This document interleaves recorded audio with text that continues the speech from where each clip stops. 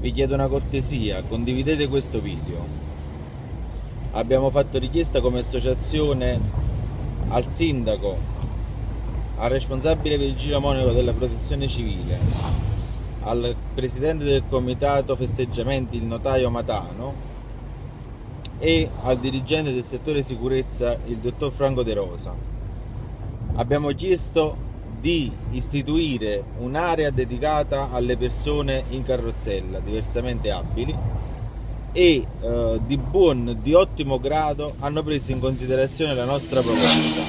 Quindi questa sera, annuncio a tutti, per la prima volta in assoluto, dopo 3.000 anni, verrà istituita un'area nei pressi del campanile in, eff- in pratica appena si salgono le scale venendo dal Duomo, sulla destra, ci sarà un'area transennata con le indicazioni per le persone diversamente abili con l'accompagnatore a seguito.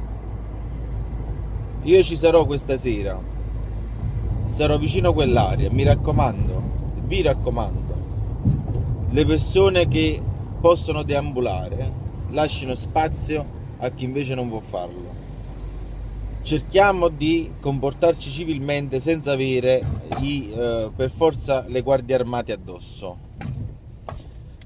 E grazie veramente di aver preso in considerazione la nostra proposta. Ne faremo sempre per la città e grazie mille di averle prese in considerazione di nuovo.